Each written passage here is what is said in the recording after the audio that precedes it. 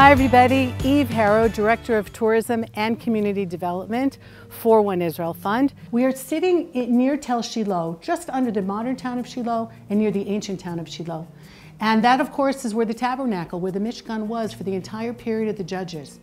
And we are sitting now in Kaduma, the studio of Suri Provisor, who is an expert in the ancient crafts. Hi guys, welcome to Kaduma. Welcome Eve to Kaduma. I'm so glad you came to visit. The meaning of the word Kaduma is um, to go back in time. Instead of Kadima, I sort of made up the word. Kadima means to go forward, and the word Kadum means to go back. So I made the center to get that feeling of what it used to be like, you know, how we used to sit together and work together in our villages and do all these crafts together. One of the ways that I got connected um, with all these crafts is I needed the Tanakh to be more alive for me. It was all very quiet and dormant in its pages, and I was always looking for the life. I had studied archaeology, and while studying archaeology, it was like very dusty, and I could never really, except for an imprint of some rug in Jericho, you know, you could get an image of how people used to live, and all of the fibers and basketry and clothing is the stuff that didn't make it through time. All we see is the his story is all of the stones and the glass and all of these hard materials, but the soft materials did not remain.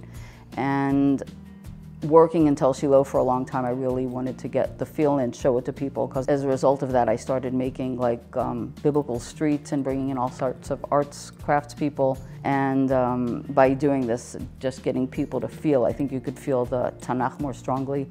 And um, I picked this up in my travels, like when I was traveling around the world in just different primitive places, you just see these things are still very alive. And all the stuff that we've lost in Judaism, you can find it hiding in other cultures. In other primitive, poor cultures, it still have to live this way. But we can get this um, knowledge back again. I'm intrigued by what you said, that the soft things didn't survive the time. And these, I suppose you could say, were considered like women's work, right? This, the so her story, or like the softer gender, who worked very, very hard. You said that Judaism lost this, but for those of us who keep a traditional Shabbat, so we still keep this idea of the things that we don't do, or that it's extrapolated, like electricity, that's extrapolated. So how do you teach people about these melachot? How do you teach people in the very place where the tabernacle stood for hundreds of years? How do you connect people to that idea of what it means to create? It's, it's known as a day of rest, but it really me, means a day where you don't work, where you don't create. How do you parse that difference? Mm -hmm, correct. Um, the, what is left in Judaism today is the Avot Melacha, is the Toldot. The Avot Melacha are the original Melachot, which nobody really spins wool anymore, or they don't comb their wool, but we're left with the, the Toladot of the original Melacha. For instance, combing wool, the original Melacha, the original craft was combing. Um, all we're left with from that Melacha really is not combing hair with a comb on Shabbat. That's our residue of that melacha. So the problem with it in today's Judaism, I feel, is that it almost seems trivial. You know, the things that we don't do, we don't understand even where they're coming from. What do you mean don't comb your hair? Why shouldn't I comb my hair? You know, and when you get to the root of it, you could see how deep and beautiful it is. It's all about a process, taking from nothing and creating until the end process. For instance, making the bread, the melachot of making the bread, it doesn't start from kneading, pouring your flour from the supermarket. It comes from planting the seeds and winnowing the grains, and it keeps going on and on. And each of the melachot, each category is really the entire process. The leather making, you're starting in not killing the animal. You know, so I believe that the melachot are things that come from the ground up. And from there, we really learn the beauty of the shefa of the world, of the bounty of the world that God has given us. And us, we come in, what man can do is with our ability and knowledge and hands, we can do this whole process. It's, we have to be the go-between to do, to do this. So to me, that's what an actual craft is. It's not taking glue from the craft store and sticking it on. That, that's not a craft. A craft, eh, eh, as a, as a melacha, I think a craft is something that starts from the bottom. You know, it's the bottom up and we are part of that process. The temple had a lot, a lot of cloths in it. The Mishkan had a tremendous amount of fabric going on in there. That's pretty much how man used to live. You know, we just had to do this whole process in order to have tents and rugs and, and everything in our, in our own house. So for the Mishkan, let's look at the fabrics from the Mishkan. We have the outer walls were made from spun goat's hair, and the top was made from, from skins and more blue, more blue fabric, which could have been woven, could have been dyed leather. The inside we had all of the the uh, mechitzot, the, um, the partitions in the middle, the parochot, um, all of the coverings of everything, all the walls, and and the, also the clothing, the clothing, the bigdei kehuna, the priest clothing, where everything is, is all woven. So the, the colors, the colors in the Mishkan, we talk about Tchelet Argaman and Shani, right? So it's not that God liked blue and purple and red, you know. Most of the common people walked around in colors like this. These are things that you could get. These are vegetable dyes. You can get it from all kinds of plants growing. This is from turmeric. This is from onion skins, all kinds of nut hulls and berries. Um, you couldn't get Tchelet Argaman and Shani. You couldn't get the crimson and the blue. That was not common at all. Those were colors just for the very, very wealthy. So if you'd see a guy walking in with a blue robe, it would be like a movie star walked in the room. That would be our same reaction. Wow, who's that? You know, because if we're all walking around like that, and all of a sudden some guy comes in like this, and you're like, whoa. So this is an important thing for us to understand, is that in the ancient world, these colors were very, very uncommon. The blue, the, these colors, these crimsons and blues and purples, these were status symbols in the ancient world. So I'm going to show you a couple things. This would be vegetable dyes. These are walnut hulls and sumac. And that's the basic things for the peasants. So that's what they'd be walking around with. The, re, the royalty, okay, this is the chilazon that the blue is gotten from. Okay, the shell is, um, the animal actually is pierced here. And with this gland, when it touches the air and oxidizes, the white liquid from here turns blue. It's a complex process how this was dyed. It's amazing that they got to this. There are actually secrets in that world. Nobody could tell anybody how the blue was made. So the tchelet was also very complex, very, very expensive. This was very rare. You needed thousands of these to dye like a ounce, so they say. Um, the red is very interesting too. Okay, this is a bug called cochineal. Okay, um, I'm just going to show you the type of bug. This is not the actual shani. That it's um, actually not happening anymore, but this is a great story because this cochineal grows on sabra plants. Okay, and when they wanted in Israel, in early Israel, they wanted the red dye, so they imported the sabra plant from Mexico and planted it in Israel in order to grow the cochineal. So the sabra is not really native to Israel, which is pretty amusing. But um, this bug is used actually in, as food coloring in some countries in the world. So it's actually, that's the unkosher red that you see, but I want to show you how this works. So this gives us, this is a very rare um, red bug dye. When we speak now about cardinal red, Mm-hmm. like a color that also is used by other religions. That's where the, that's where this comes from. Um, this idea. Yes, this actually the redcoats used to wear this in England. Okay, it usually comes out to a really really bright red, but yeah, look at that. so that's that's you can get an understanding of the specialness of Tchelet, Argaman, and Shani, these colors that were used in the temple, which um, you know we usually just look at it as like nobody even asks, really. Nobody even asks why you wanted those colors, but you know, to understand that those are colors of royalty.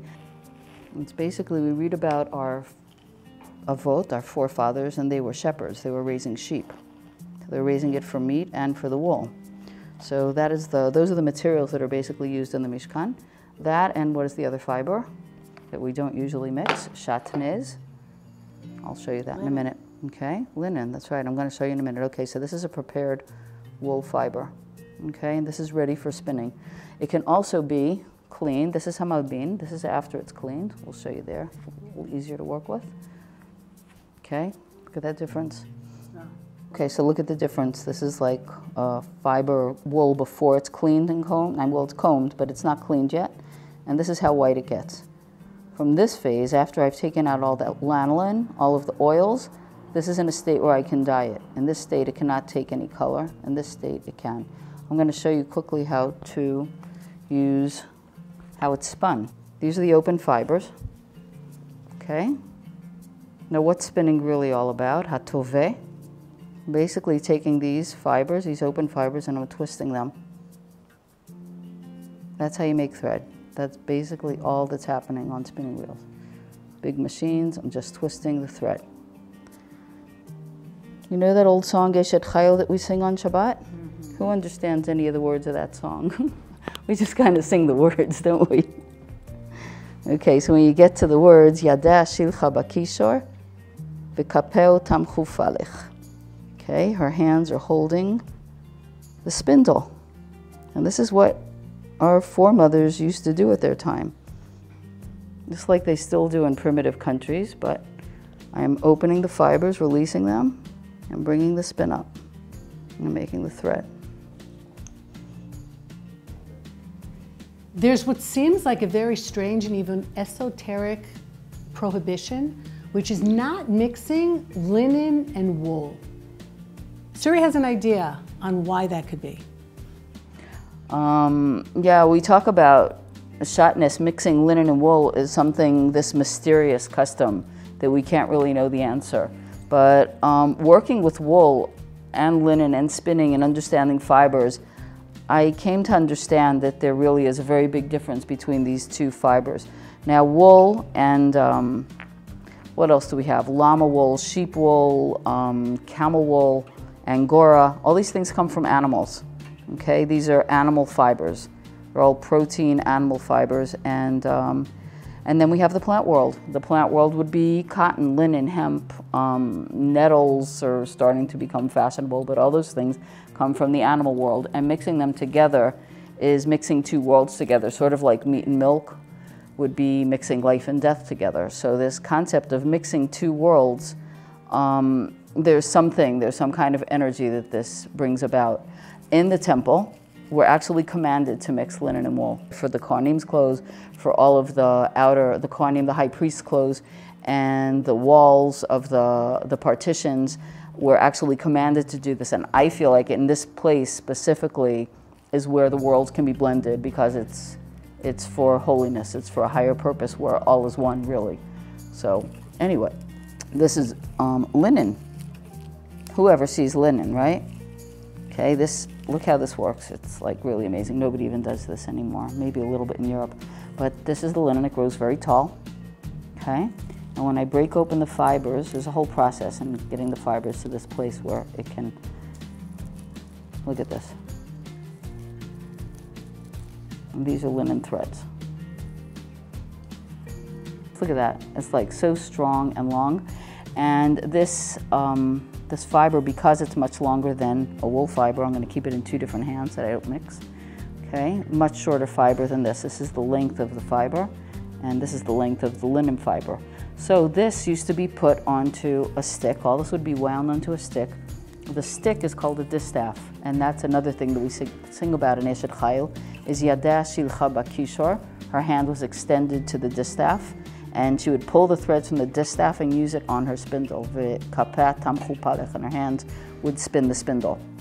So this, all of this stuff really, for me, brought Judaism more living and alive and understandable and something that I could relate to. So I hope this inspires you, you know? Just, it's really a beautiful, there's so much beauty inside of this that we miss. We just don't see it. It's this thing that we say, pokech ivrim, please um, open the eyes of the blind. So this is what all of this was for me when I started discovering all these things. I was like, amazing. So much more than I gave it credit for.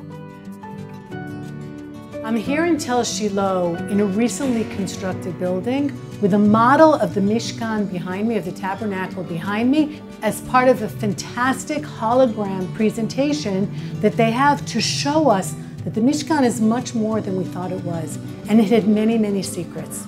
You know, we just sat with Suri Provisor learning some of the ancient crafts, and people who still do that in the world. And she mentioned she's been to some of these places, what she calls primitive societies. But sometimes I think to myself, they were able to do things that many of us can't do. I can't make my own clothes. I can't grow my own food. When my electricity goes out or I don't have Wi-Fi for a few minutes, I'm like beside myself. And what do I do with my refrigerator? And what they had that many of us don't have or don't have enough of is faith.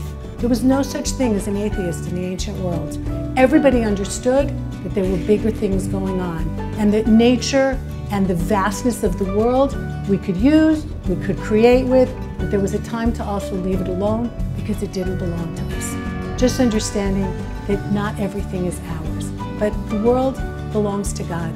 And you can come here to Shiloh and you can come to Suri's workshop and with your hands and your mind and your heart and soul, come to a different kind of an understanding of where we all come from and that they had a wisdom that we need to find and incorporate into our own